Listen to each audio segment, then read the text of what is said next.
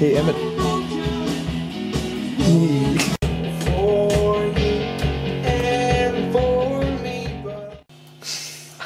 but